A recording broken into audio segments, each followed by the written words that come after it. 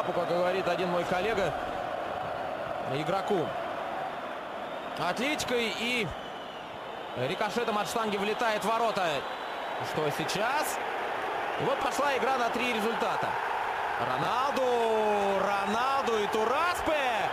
Ребята, не надо!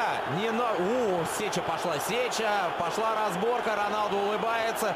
Иди сюда, я тебе покажу. Или в раздевалке разберемся. И Тураспе и Роналду показывает Роналду, что был нырок.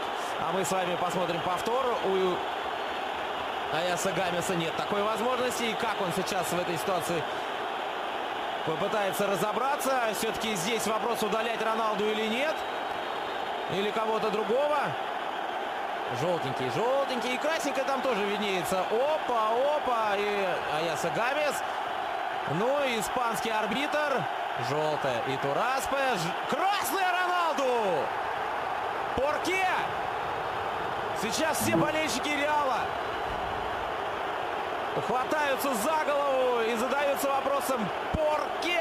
И дальше еще одно слово на «П» вылетает из их уст, но оно не цензурное и не для эфира. Почему и Тураспе желтая, а Роналду красная? Здесь, э, может быть, Эса Гамес э, не сам разобрался, а с помощью э, своего